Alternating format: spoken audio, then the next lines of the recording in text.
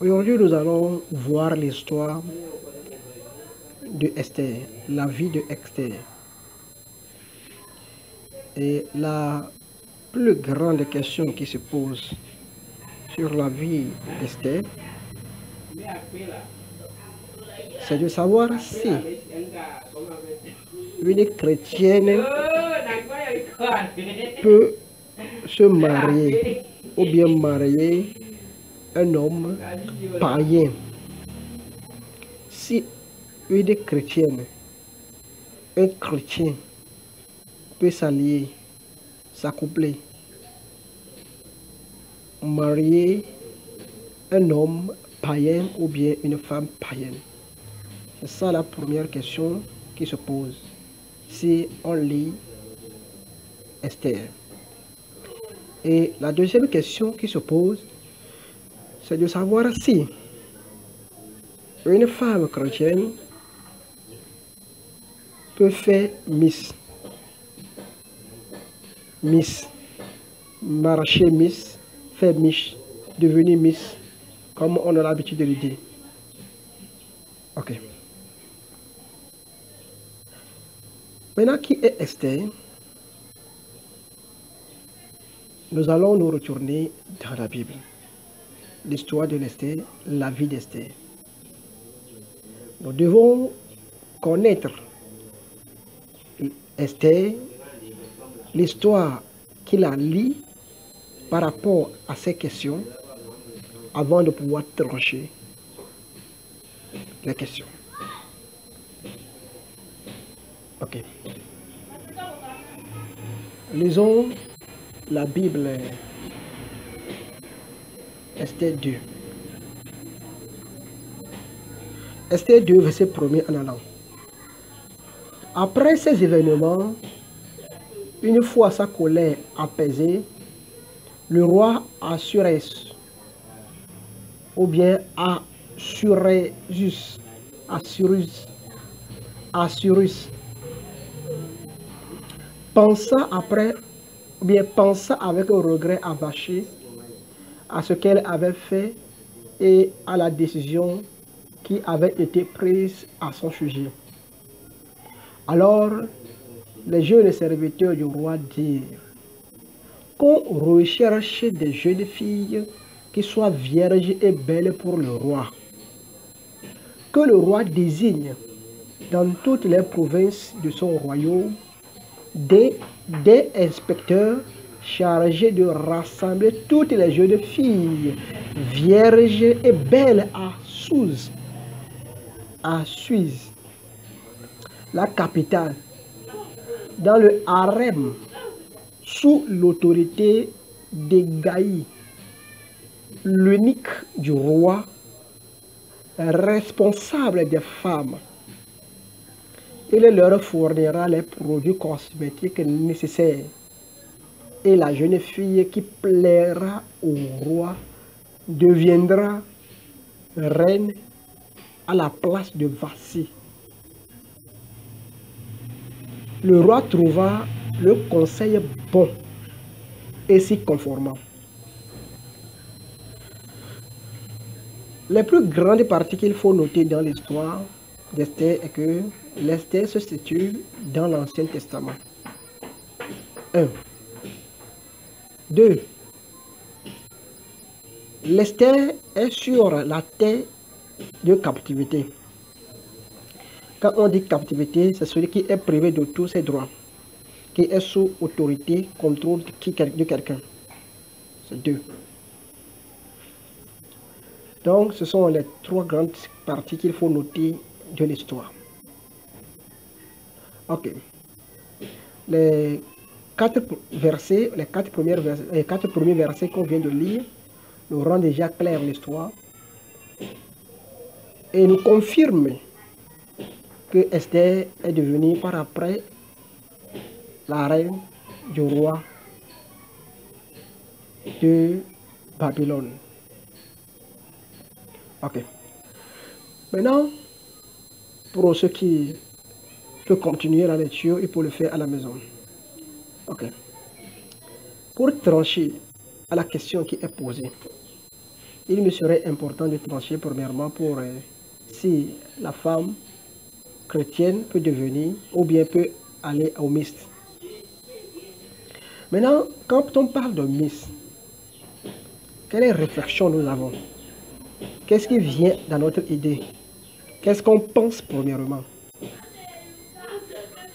Quand on parle, on parle de Miss, on, on pense premièrement à des catégories ou bien à un nombre de filles présélectionnées qui exposent leur corps.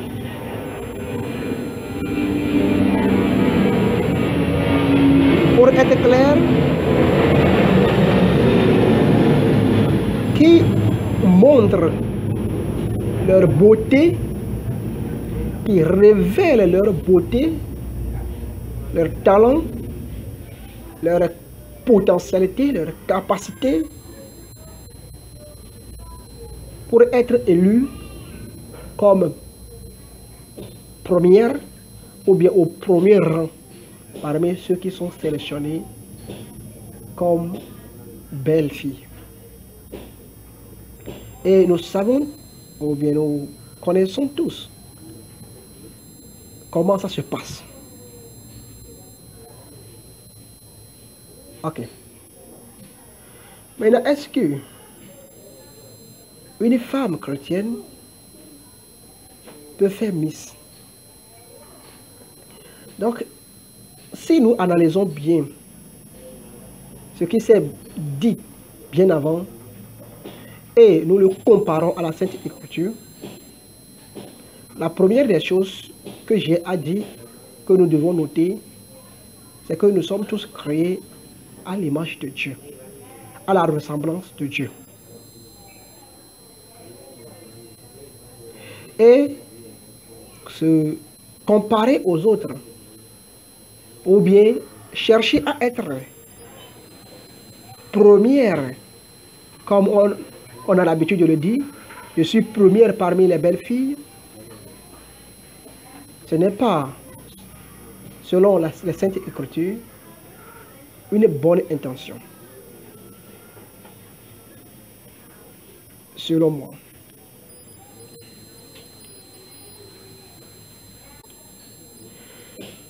Il est à noter que la beauté, c'est une grâce.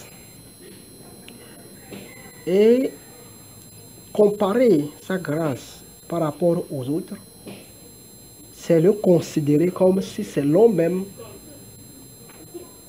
qu'il a acquis par ses propres façons de faire ou bien par ses façons de se bien de prendre soin de soi-même. Ok. Et ce que nous devons également noter dans l'histoire d'Esther, ce que la plupart des personnes ignorent, c'est que premièrement, Esther, selon la Bible, n'est pas la plus belle. Mais la Bible dit, elle est choisie parmi les plus belles ou bien les belles filles. Ok. Le choix d'Esther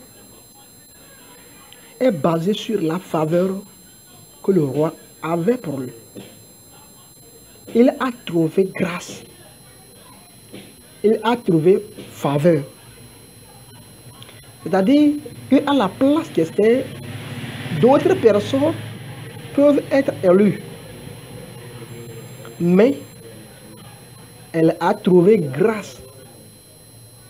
C'est-à-dire, quand on parle de grâce, c'est ce que nous n'avons pas mérité, mais qui nous a été donné par la permission de Dieu, par l'autorisation, l'accord, dans le plan et le destin de Dieu lui-même.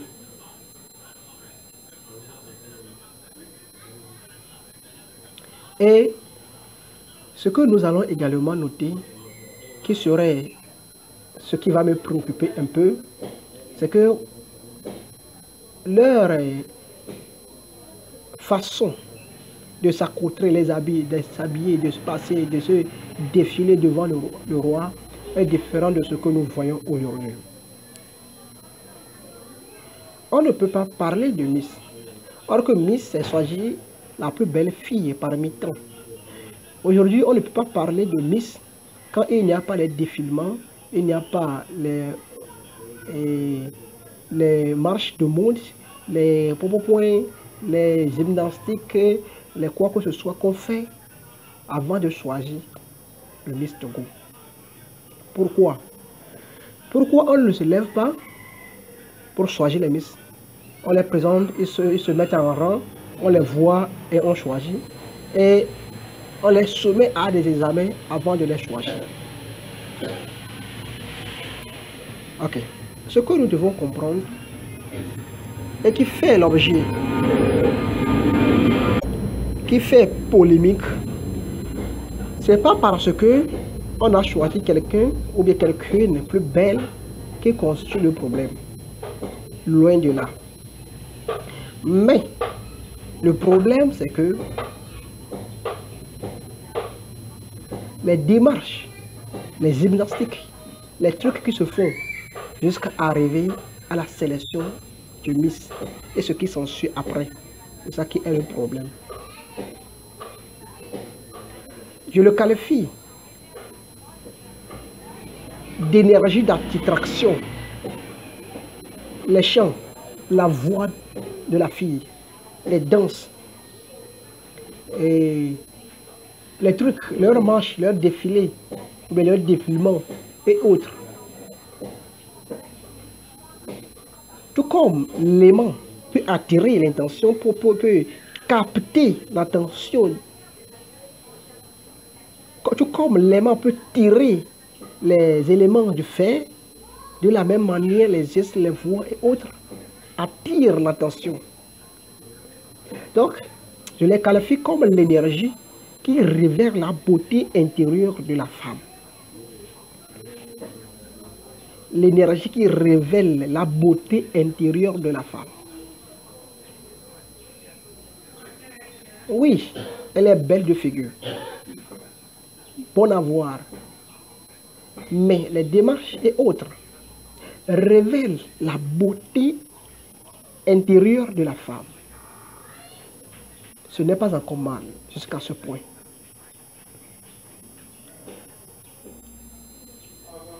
Lisons quelque chose dans la Sainte Écriture. Matthieu.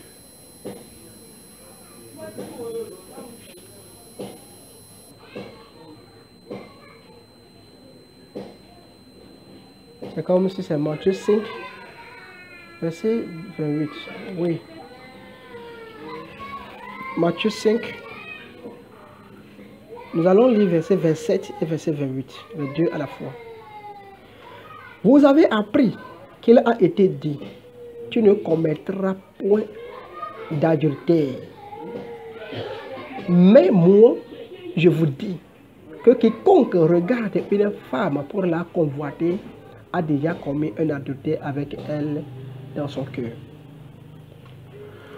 On n'a pas dit quelqu'un qui regarde une femme a déjà, a déjà commis l'adultère. Mais plutôt, celui qui regarde une femme. On n'a pas dit il a regardé la femme et l'a convoité. Mais on a plutôt dit regarder la femme pour la convoiter. Pour veut dire, ou bien le sens de pour, c'est intentionnel.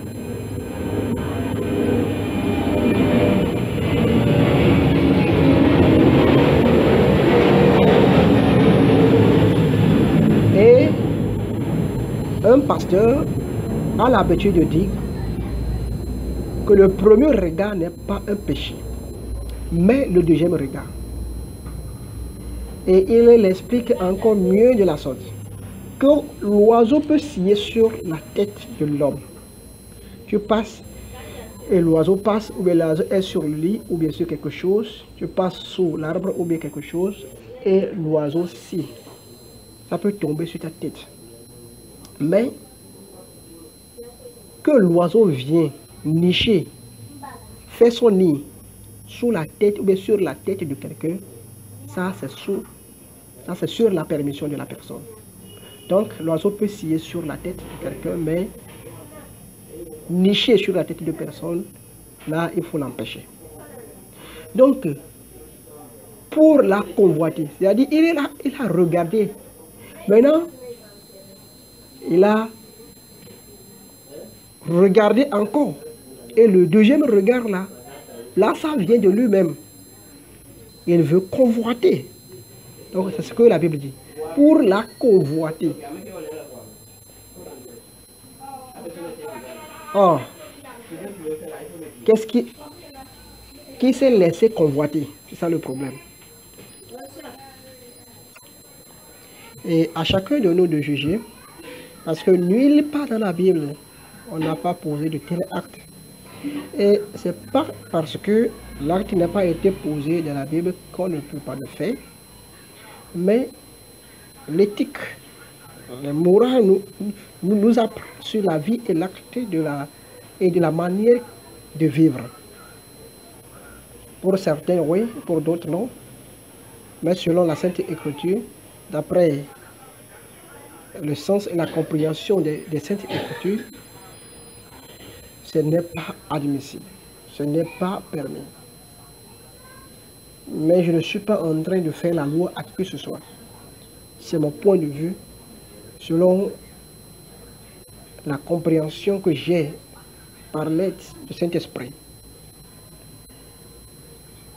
Exposer son corps. Chercher coûte et coup à montrer sa beauté physique, extérieure et autres. Et pour attirer l'attention des gens, pour avoir la faveur ou bien pour être élu comme la plus belle fille du monde.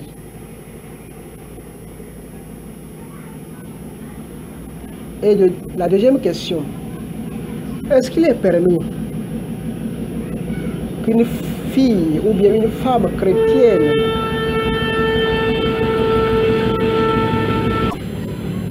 marie un homme païen ou une femme païenne Là, la Bible est claire là-dessus. Qu'est-ce que la Bible dit? La Bible dit, quelle relation y a-t-il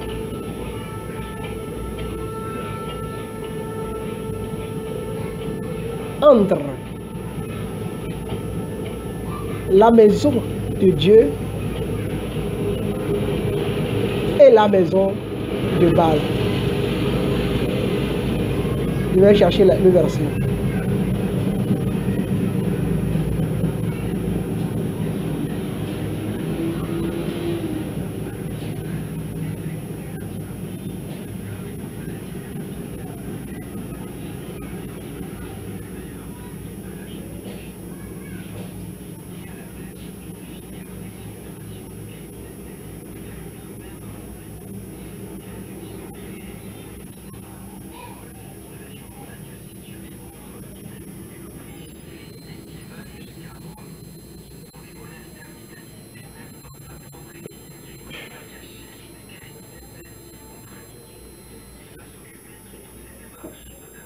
Excusez-moi un peu.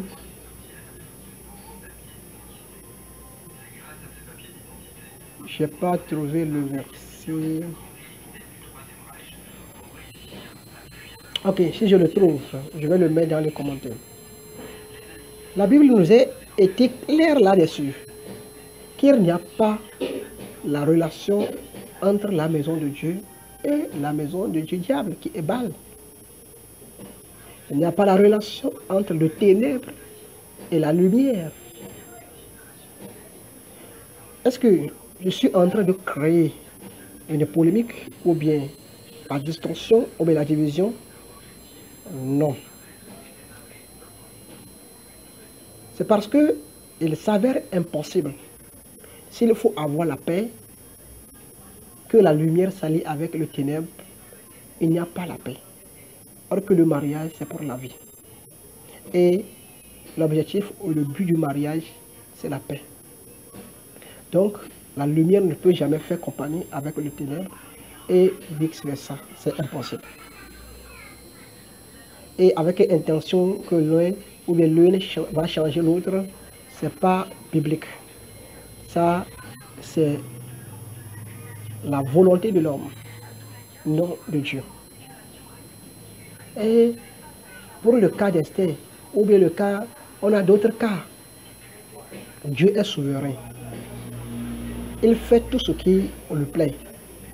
Il peut occasionner, permettre certaines choses selon le plan que lui-même avait voulu accomplir. Mais ce n'est pas, selon la Bible, permis que le païen s'allie avec un enfant de lumière.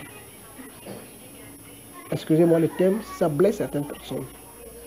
Oui, les enfants de Dieu sont appelés enfants de lumière. Et les enfants Dieu malin sont appelés l'enfant de ténèbres. Pourquoi ils sont qualifiés de la sorte À cause de l'acte.